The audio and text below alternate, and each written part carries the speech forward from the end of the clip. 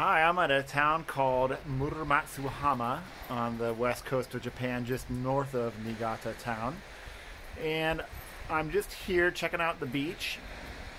But what I wanted to show you was these wind power turbines, these wind turbines along the beach line. You can see there's some industrial stuff. Boy, it's really hard to see in the screen. I don't know if you can see down here. There's some uh, big storage tanks and some smokestacks.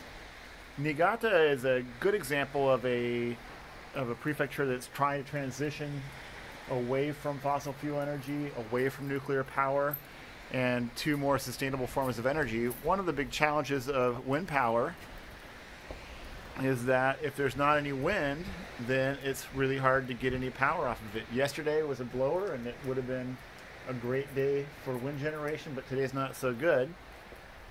One more thing that, boy, if you really look, you can see just right out here, there's an offshore drilling rig there. Niigata is one of the few places in Japan that has a domestic uh, oil and natural gas uh, field. There's there's some up in there's one up in Hokkaido. There's another one just north of uh, us as well. But Niigata has Niigata has several different uh, natural gas fields and some limited oil reserves as well.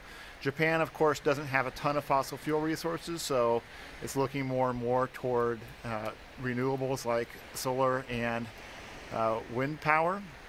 But one of the challenges is figuring out how to get a steady supply of those power sources. Of course, it's easier to uh, just complain about it and not do anything than it is to actually build the infrastructure. So, in the case of Japan's power companies, I think there's really good evidence that they're working hard to come up with alternatives that can at least substitute for some of the lost nuclear that they've had since they've idled a lot of their plants and uh, increasingly become more sustainable.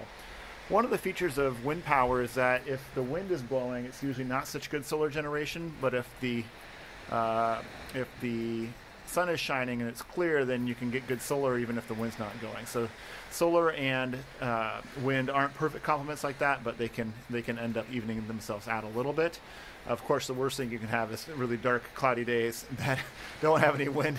Like like today is not such a great day for solar and wind combined.